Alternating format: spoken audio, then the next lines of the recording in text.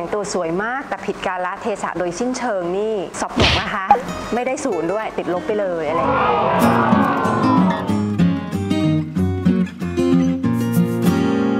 สวัสดีชาว OK Magazine นะคะ วันนี้พี่ขวัญก็มาร่วมงานกับ OK Magazine อีกครั้งค่ะ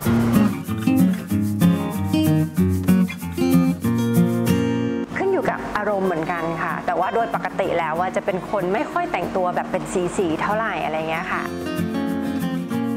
เป็นคนชอบสีดำชอบสีขาว ชอบที่สุดก็คือเวลาสีขาวกับสีดำอยู่ด้วยกัน แต่ว่าถ้าที่เลือกใส่เสื้อผ้าสีสีก็จะแบบเหลืองชมพูช็อกกิ้งพิงอะไรอย่างเงี้ยไปเลยประมาณนั้น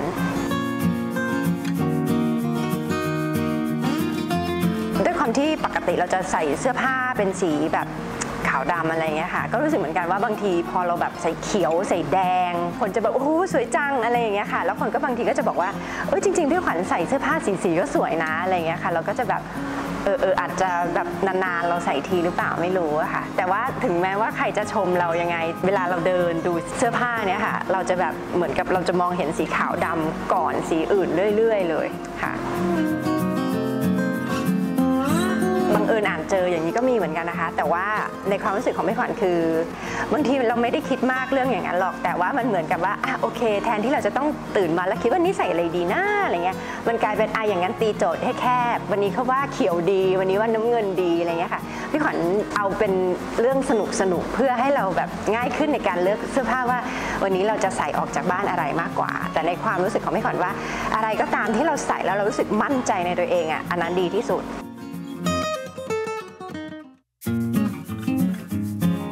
จะเห็นบ่อยอะเพราะเราไปงานอยู่ตลอดเวลานะคะ ก็ต้องแบบว่าแต่งให้แบบหืมสุดอย่างเงี้ยค่ะ เขาถึงจะแบบ อืมวันนี้ดูสวยดีแปลกตาอะไรเงี้ยค่ะ แต่ว่าถ้าแต่งในแต่งสวยแบบปกติเวลาไปงานธรรมดางานกลางวันอะไรเงี้ยเขาก็เห็นอย่างเงี้ยอยู่ตลอดเวลาต้องแบบ งานกลางคืนที่เราหูจัดเต็มมากๆ หน้าผมเครื่องประดับแต่งขึ้นไปแบบให้เยอะๆที่นานๆก็เห็นทีอะเขาก็จะรู้สึกตื่นตาตื่นใจหน่อย พี่โชว์อะเขายังจะมีแบบบางวันที่แบบพี่ขวัญแต่งสูทดูเท่อะไรเงี้ยเขาก็จะแบบอืมใช้ได้อะไรเงี้ยค่ะ แต่ว่าถ้าปราบเท่าที่ขวัญรู้สึก ถ้าวันไหนเราแบบแต่งตัวแบบว่าเกาะอกยาว มีลากต้มหูแบบผู้หญิงผู้หญิงหน่อยอะพี่ขวัญว่าเขาจะชอบ แต่ถ้าวันไหนเราแต่งตัวเท่ๆ เขาก็จะแบบว่าแม่อย่างกับผู้ชายอะไรอย่างเงี้ยค่ะ ประมาณนั้น ไม่ได้เป็นคนแบบสะสมอะไรเป็นพิเศษหรืออะไรเงี้ยค่ะพี่ขวัญเป็นคนแบบซื้อของมาก็ใช้ ก็มีบ้างก็มีนาฬิกาพี่โชคซื้อให้มีแหวนมีอะไรประมาณนั้นใช่แต่ว่าถ้าจะถือว่าแบบเป็นชิ้นที่ผูกพันมีประวัติมีอดีตอะไรเงี้ยค่ะ ไม่ถึงขนาดนั้นค่ะ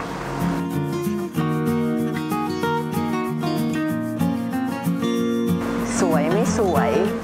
ลุคสไตล์เป็นยังไงไม่สำคัญเท่า เราแต่งตัวถูกต้องตามกาละเทศะหรือไม่ คือแต่งตัวสวยมากแต่ผิดกาละเทศะโดยสิ้นเชิงนี่สอบตกนะคะ ไม่ได้ศูนย์ด้วยติดลบไปเลยอะไรเงี้ยค่ะพี่หันรู้สึกว่าสไตล์เป็นเรื่องของของแต่ละคน เราไม่จำเป็นต้องแต่งตัวแบบสวยเป๊ะ mix and match ลงตัว เพราะฉะนั้นพี่หันว่า ใส่อะไรก็แล้วแต่ที่เรารู้สึกว่าเราส่องกระจกเรามั่นใจในตัวเอง มันถูกต้องตามกาลเทศะ แล้วก็เป็นการให้เกียรติสถานที่ที่เราไป ให้เกียรติตัวเองด้วยนะคะ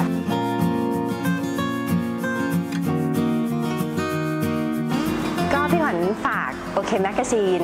ฉบับเดือนกรกฎาคมด้วยนะคะ ก็พี่ขวัญจะเป็นทั้งปก แล้วก็จะมีเนื้อหาสัมภาษณ์ภายใน ครั้งสุดท้ายที่ที่สัมภาษณ์กับกับ OK Magazine น่าจะเป็นปีที่แล้ว เพราะฉะนั้นหนึ่งปีผ่านมาเรามีมุมมองเรามีความคิดเรามีชีวิตที่เปลี่ยนแปลงไปยังไงก็ติดตามกันได้ OK Magazine ฉบับกรกฎาคมนี้ค่ะ